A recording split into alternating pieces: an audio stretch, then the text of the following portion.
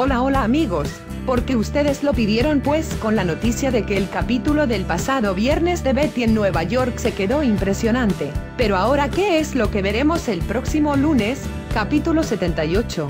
Y es que podemos comenzar viendo que tendremos un capítulo revelador, tal cual como lo dijeron algunos seguidores. Se quedó lo bueno para el lunes, y es que el capítulo del día viernes pudimos ver cómo nuestra Marcela llegó con Armando mencionando que vino a conocer a su amante, siendo que seguramente le pedirá explicaciones de por qué hizo una cita cuando ella estaba de viaje. Ahora que en el avance podemos ver que al parecer Betty le meterá un gran golpe a Ricardo, mientras que en otra de las escenas podemos ver a Betty presumiendo su carro de lujo, escuchando claramente a Betty mencionar que muchas cosas cambiarán, ahora que este mismo coche lo estaría manejando Nicolás, ahora que me parece que lo más interesante del avance es el momento en que vemos a Armando hacerle una revelación a Ricardo, y es que Armando menciona que cancelará su boda con Marcela, por lo que aquí surgen dos teorías. En primer lugar podría ser que Ricardo confiese que estuvo con Marcela,